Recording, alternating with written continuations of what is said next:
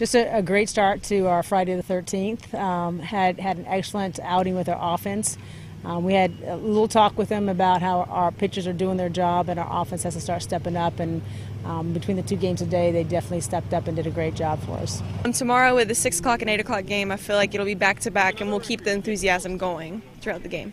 Yeah, I think the first game they're excited. We had two opportunities to break records. You know, Mac on the mound and getting a chance to break the strikeout record, and then with Kaylee um, stolen base record, it was a lot of energy in the dugout. They were pretty excited about um, having it happen in the very first game of the, of the day, and, and when it did, you could feel the energy of, of everybody, including the crowd. They were fantastic.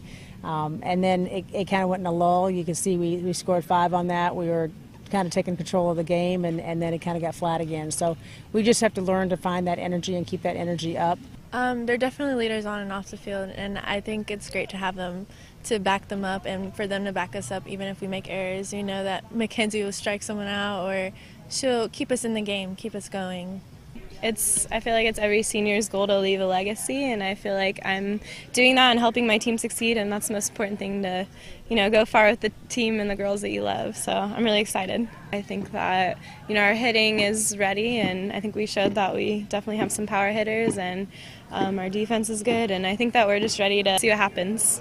Um, but they came back and they were strong in that second game, came out right away, got their one run and um, just the two home runs, the with, with KK's home run and, and and you know Farrah's home run, it really made a difference in the ball game. Just giving that energy to to make things happen.